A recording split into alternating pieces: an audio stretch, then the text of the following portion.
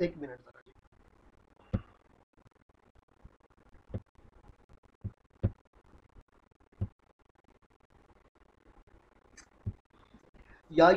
आमनु, ए ईमान वालो, हल अदुल्लकुम, क्या मैं तुम्हारी रहनुमाई कर दूँ? अला तजारतन, उस तजारत की तरफ़ तुम जी कुम जो तुमको बचा दे, मिन अजाबिन अलीम, दर्दनाक अजाब से। कि ए ईमान वालो क्या मैं तुम्हारी उस तजारत की तरफ़ रहनुमाई कर दूँ जो तुम्हें दर्दनाक अजाब से बचा दे? जहाँ तक अजाब अलीम का ताल्लुक है ये सबसे खौफनाक और दर्दनाक किस्म का अजाब है।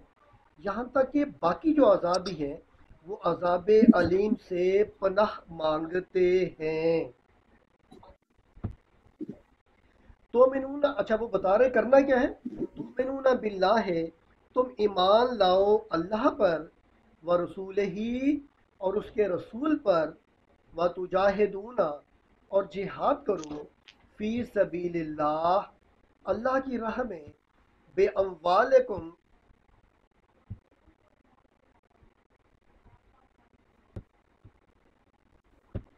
अपनी मालों के ज़रिए अनफुसकुम और अपनी जानों के ज़रिए। जालिकुम खैरुलकुम, ये चीज़ तुम्हारे लिए बेहतर होगी।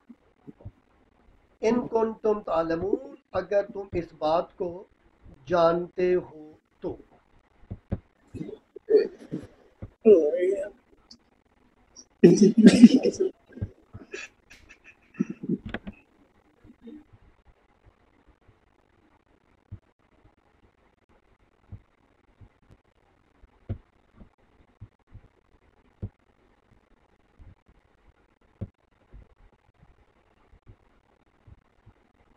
हम्म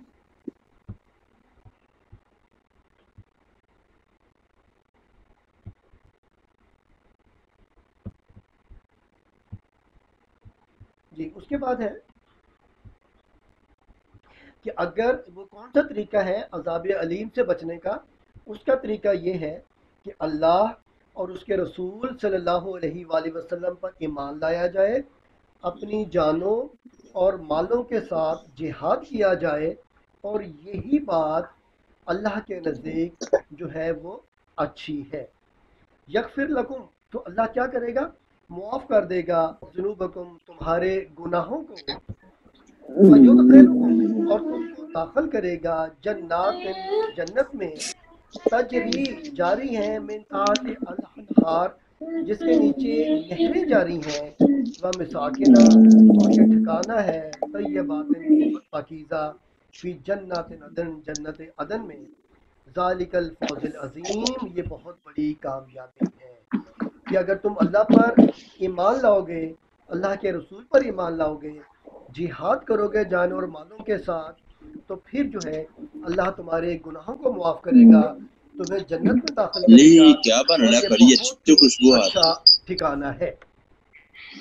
वखरा और दूसरी बात यह है तो हिबूनहा जो तुम पसंद करते हो वो बात क्या है? नसरुम मिन अल्लाह है कि तुम अल्लाह की मदद चाहते हो फतन करीब और अल्लाह की मदद बहुत जल्दी ही आएगी।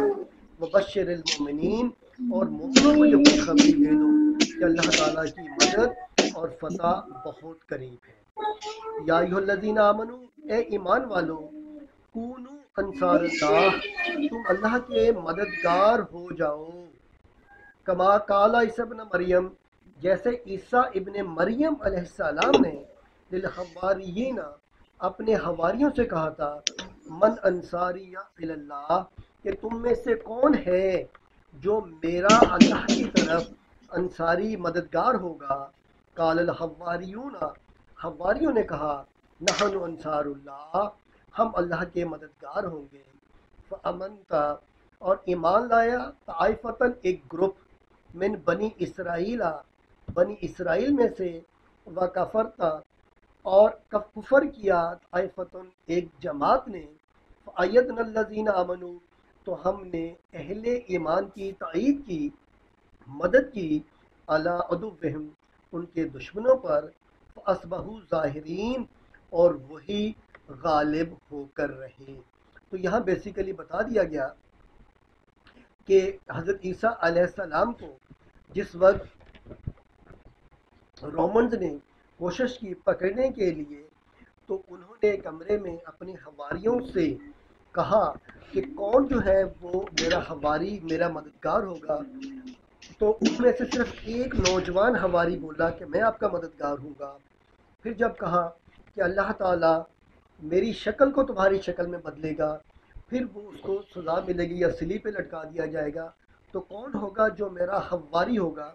इस पर भी उसी ही बंदे ने कहा कि मैं आपका हवारी हूँगा, मैं आपका मददगार हूँगा।